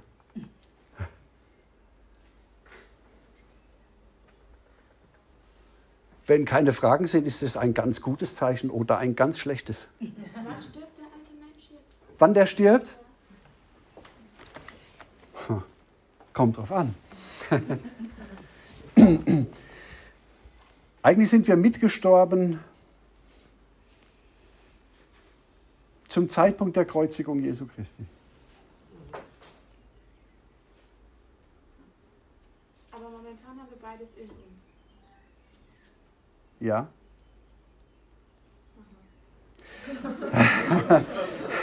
Wir werden, wir werden diesen nicht los. Bitte? Was denn? Das Biest schwimmt. Wir haben immer mit der alten Natur zu kämpfen. Das bleibt auch. Und das ist für uns auch gut, weil wir sonst, weil wir sonst hochmütig würden. Und wir würden unseren Nächsten nicht mehr verstehen können. Gott vergibt uns alle Schuld und die Schuld, die wir hier an dem alten Menschen tun, die zeigt uns, wie nötig wir die Vergebung Jesu Christi äh, gehabt haben und wie, wie dringend notwendig das war, dass er kommt und wie sehr er uns lieb gehabt hat, dass er so einen alten Madensack wie mich trotzdem annimmt. Dass wir das nicht verdient haben. Aber dieser, der lebt in unseren Augen, lebt er noch und der existiert auch de facto noch. Gott sieht ihn auch noch. De jure hat er sein Urteil schon an Christus vor 2000 Jahren auch an dem hier vollzogen. Und deswegen blendet er Gott den aus. Das ist für ihn nicht mehr von, von Belang. Also juristisch tot. Juristisch tot. Die Frage ist jetzt natürlich, okay, deine Schwester kommt jetzt vor drei Wochen zum Glauben. Ja, war die vorher jetzt nicht wiedergeboren? Nee, war sie nicht. Ja, aber dann hat das ja vor drei Wochen noch gar nicht gegolten, was vor 2000 Jahren schon passiert ist. Ja? Das ist schwierig zusammenzubringen. Warum? Weil hier die Ewigkeit auf die Zeit trifft. Ja? Und deswegen würde ich das im Alltag gar nicht so kompliziert machen, sondern sagen, da ist jemand zum Glauben gekommen, der hat Gottes Geist, ja, das ist schön, der freut sich an Gottes Wort und der ist zum Glauben gekommen an Jesus Christus. Äh, ist das, trifft das ungefähr deine Frage? Also solange wir hier auf der Erde leben, haben wir noch mit dem alten Menschen Ja. zu tun, aber er ist ja nicht der, der uns ähm, verurteilt, also vor dem wir gebracht werden, weil wir diesen neuen Menschen haben. der- Genau. Der alte Mensch geht nicht in den Himmel. Der alte Mensch geht nicht in den Himmel, der bleibt hier, wird zu Humus und wird zu dem hier wieder. ja? Deswegen brauchen wir auch noch das Gesetz als Richtschnur für den alten Menschen. Das ist eine gute Frage. Weil wir, haben, wir benutzen, also deswegen predigen wir ja auch das Gesetz äh, wöchentlich, täglich, damit wir wissen, wie wir uns zu verhalten haben. Gut, da kommen wir nochmal drauf, vielleicht beim, beim nächsten Punkt, ähm, vielleicht morgen auch. Ich bin ein bisschen unsicher, weil morgen ist ja eigentlich Sonntag und Sonntag eine Predigt ist ja immer so ein bisschen pathetisch, ja. Jetzt wollte ich mit euch aber gerne ein bi- bi- bisschen Bibelarbeit machen, die ist nicht so sehr pathetisch, ja. Macht euch das nichts aus, dann machen wir hier einfach Kein weiter. Gesetz. Habt ihr kein Gesetz? Okay. Du hast gesagt, wir dürfen ja Fragen stellen. Ne? Ja, genau, aber nicht alle. ja, pathetisch? Ja, also äh, so ein bisschen sakral, ja. Ein bisschen sakral. Also so eine lockere Bibelarbeit, so ist jetzt nicht unbedingt so, dass was. Ich bin da aber auch, ich äh, kenne das so, aber ich bin auch bei euch, wenn ihr kein Gesetz habt, bin ich da froh drüber, ja. Ihr sagt immer auch, dass ich nicht immer denke, wir sind zu tun Nee, wir sind unnütze Knechte, wir haben getan, was wir zu tun schuldig waren. Ja, genau. Genau. Wir sind unnütze Knechte und haben das getan, was wir zu tun schuldig waren. Wir sind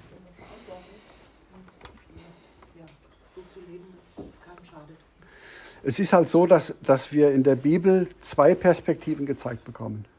Ja, wir kriegen einmal die himmlische Perspektive gezeigt und eine irdische. Und unsere Logik kann beide nicht zusammenbringen. Ja? Denn die himmlische Perspektive sagt, äh, ich habe meine Hand auf dich gelegt, du bist mein, du wirst nie mehr verloren gehen, sagt Jesus. Die irdische Perspektive sagt, äh, sie, sind, sie sind abgefallen, sie haben die Welt lieb gewonnen, sind wieder zurückgegangen in die Welt. Aber steht auch beschrieben, wie der liebt inzwischen. Ja. Ja, gut, jetzt geht es nur ums Heil. Ja? Also nicht so sehr um Erziehungswege, sondern darum, kann, kann man wieder verloren gehen oder kann man nicht verloren gehen. Ja? Und, und die Bibel zeigt eigentlich, eigentlich beides. Ja? Es gibt Leute in der Bibel, die die Welt wieder lieb gewonnen haben, die wieder vom Glauben abgefallen sind. Das gibt's. Ähm, und es gibt auf der anderen Seite die Bibelstelle, wo steht, man kann nie mehr verloren gehen. Ja? Der, der Jesu Eigentum ist, niemand kann sie aus meiner Hand reißen. Ja? Nochmal zu Israel zurück. Warte, warte, warte, wir sind noch nicht ganz fertig, aber vergiss nicht deine Frage. Ähm, das heißt, Gott zeigt uns zwei Perspektiven. Eine himmlische Perspektive ja, und eine irdische. Und die Aussagen des Himmels, die widersprechen manchmal den irdischen Perspektiven. Ja? Denn, denn vernunftsmäßig würde man sagen, ja, ich habe einen Kumpel gehabt, der ist zum Glauben gekommen. Ja, ein paar Jahre später war er im Bauwagen, ist als Alkoholiker gestorben. Der hat sich vom Glauben total wieder abgelöst und auch widersprochen dann irgendwann. Ja? Dann würde ich sagen, also meine Erfahrung, und ich lebe halt hier im Grünen, ja, und gucke mit meinen irdischen Augen, sehe ich einen Freund, der ist, hat sich bekehrt und ist wieder von Gott weg und ist auch so, hat auch so sein Leben beendet. Ja? Und gleichzeitig gibt es Aussagen der Bibel in der himmlischen Perspektive, wo die Bibel sagt, der, den Jesus Christus zu seinem Eigentum erwählt hat, den kann selbst der Teufel nicht mehr aus seiner Hand reißen. Ja? Dann sagt die Logik, ja, ist ja super, kann ich ja machen, was ich will. Ja? Aber es geht nicht um Logik, es geht um Geist. Die Logik missbraucht die Gnade Gottes immer zu allem. Ja? Aber was ich damit sagen will, ist nur, es gibt zwei, Luther sagt dazu, inferior und superior, ja? also die irdische Welt und die jenseitige Welt. Das ist für mich ein Zeichen dafür, dass das Gottes Wort ist. Denn wenn es nicht Gottes Wort wäre, gäbe es nur das hier, das Grüne. Ja? Und dann zeigt uns die Bibel halt Aussagen ähm, aus dem Himmel, die den Aussagen und meinen Erfahrungen, die ich so mache in meiner, Leben, in meiner Lebenserfahrung, zum Teil widersprechen. Ja? Aber wie ordne ich das dann ein, wenn du sagst, wie, also weil die verloren nicht verloren wie ordne ich das, wie bringe ich das dann? Das ist eine gute Frage. Normal müsste man sagen, von der Logik geht es halt nicht. Es geht entweder das eine oder das andere. Ja? Abraham war schlauer, der sagt, es geht das eine und das andere. Es geht nur durch Auferstehung. Ähm, ich bin aber bei dir. Jetzt, jetzt gibt es zwei Parteien in der Christenheit. Die einen sagen, man kann nie mehr verloren gehen und die anderen sagen, ich muss mein Heil festhalten. Ja? Aber für mich steht beides in der Bibel. Es gibt beides. Das macht uns möglich, dass wir jemandem beides sagen können. Das heißt, da kommt jemand Verzagtes zu uns, der Angst hat und sagt, ich, ich taug nicht für den Himmel und ich glaube, mein Heil ist am Ende. Und dem kannst du sagen, Jesus lässt dich nicht los. Das ist dein Trost. Der lässt dich nicht los. Du kannst dich eh nicht festhalten. Ja? Und ein anderer kommt, der sehr stolz ist und aufsässig und sagt, mir kann gar nichts passieren und ich mache hier. Ja? Und du kannst du sagen, wenn du so weitergehst, Wolfgang, gehst in die Hölle mit deiner, mit deiner Villa auf Mallorca. Ja?